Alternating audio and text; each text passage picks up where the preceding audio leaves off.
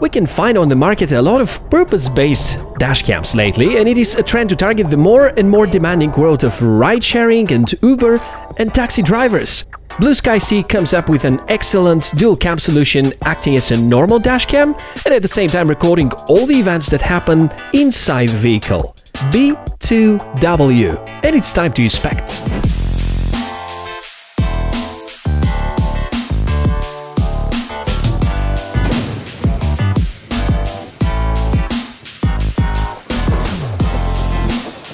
Hey, welcome everyone! Tech4All channel here, it's me, Michael, and today we make a deep dive to the hardware, software, and the overall performance of the new model of Blueskysea. This is their second product ever, and for a very long time their first dashcam, the B1W, has been among the most recommended discrete dashcams and is a device that they still use on quite a regular basis because of its simplicity and reliability. Concerning their first generation, long-term operation was fine and hopefully the B2W will prove to be as durable as the older one. The device is dual cam module and features front-facing and rear-facing lenses designed for mounting at the front of the vehicle. And the footage will cover the front view via the main lens and through the secondary one, the driver, the passengers, the view out of the rear and the sides if there is direct visibility. I'll briefly guide you through the unboxing experience and know that I have the pre-release item, so you might have some of the accessories with an improved version. Guess I was something like a beta tester, although it is all so complete and bug-free that it can easily qualify for a well-settled product. Inside the package you're gonna find the camera and a box with the accessories, excellent long USB cable, mini USB standard, the charger, there's an optional hardwire kit that supports parking mode when the engine is off, and like the first generation, two different mounting types, one that is suction cup based and one that is tape based. The technical specs are promising. Processor is Novatek 9660, which is used with many great action cams from a couple of years ago. The image sensors are both Sony, the 2 megapixel IMX307, which is known for large pixel size and good low light performance. There's an optional GPS, 2-inch display, G-sensor based parking mode and Wi-Fi. Field of view of the lenses is 132 degrees horizontally. So far on paper, this all sounds great. Let's carry on with the installation and the preparation for the continuous usage.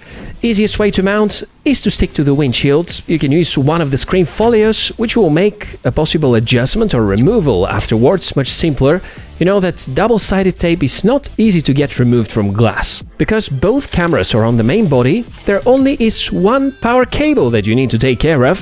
Find a convenient way from the cigar lighter to the main unit and make sure to hide the cable. There's a pry 2 to help you with that if needed. The B2W model may be ordered with optional GPS module, which has a stereo plug-like connector and is one more wire to place. The better visibility to the sky the quicker the GPS is going to lock. I've sticked mine at the upper side of the windshield and it sometimes locks signal within just 5 to 10 seconds. The module adds additional information to the footage, like the speed, location, and accurate time, and it creates a track record on a separate file which you can review on a PC or Mac at a later stage. I mentioned at the beginning that there's a hardwire kit. It can be optionally ordered. I usually prefer hardwire kits which are installed as a fuse, perhaps the simplest way for a non-technical guy to install on his own without messing things up. To initially configure the camera, you better use the hardware buttons. Menu settings are not overwhelmingly many, so you can certainly find the things that you need and the things that need to be adjusted. There are a few resolution choices, the possibility to fine-tune the picture, to choose the camera modules that are active, and some extra config settings. Also, the overall operation of the dashcam is very convenient, and that includes enabling or disabling the rear module, just from these buttons. They are well placed and with good functional implementation. I liked a lot the extra large button that lets you mark a video as emergency. This can come very handy when trying to highlight a file. For example, you spot someone driving at red lights and you want a video not to disappear among the many other files, just press the button and you can afterwards get the file from the emergency folder. Let's go ahead and inspect the performance. Audio comes first. Hi, here's an audio test recorded with the Blueskysea B2W from inside the vehicle I'm currently driving with around 50 kilometers per hour or 33 miles per hour. And that's the kind of quality and sound levels you could expect recorded with a dashcam. The video quality is well balanced, sharp and detailed, surprisingly good values the total bitrate can reach up to 24 megabits for both modules, which you can split between the front and the rear one, either equally or give precedence to the front module, up to 16 megabit, which is 30 to 40% more than an average dashcam in this class, and the detail amount is greater. Objects are well visible, even at a distance, and you have no problems seeing the car plates under most light conditions. Because of the good image sensor choice, the low light performance is also at a decent level. All that is recorded at 1080p 30 frames per second, but if you disable the rear module, you can count on up to 60 frames per second as well. If we get a closer look at the secondary camera which records the car interior, we can share similar thoughts. It's actually quite good and capable of giving you plenty of details. Guess these devices may be a booster to vloggers that prefer to talk to their audience while waiting in traffic jams, who knows? During the night, you will watch black and white videos with possibility for enabling the special IR cut filter that can help for improving the image and reduce the distortions which are caused by the infrared. Daytime videos are recorded with normal colors. Parking mode is there too, and it is a convenient way to know that surveillance will be there when you're not around the car. With a note though, the B2W needs a few seconds to wake up from sleep should the G sensor get triggered, which means that it might actually miss the whole accident.